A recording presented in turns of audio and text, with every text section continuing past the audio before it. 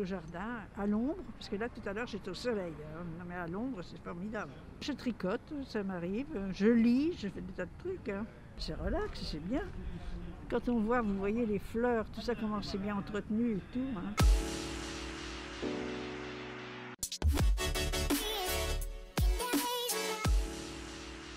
Ici, on respire, il y a des arbres, il y a une pelouse et et des jets d'eau. Le matin ou l'après-midi, euh, où on peut se détendre, c'était toujours euh, un plaisir de venir ici. Comme dit je ne sais plus quel poète, de toutes les saisons, je préfère l'automne et c'était une saison que j'appréciais particulièrement. Couleur, lumière,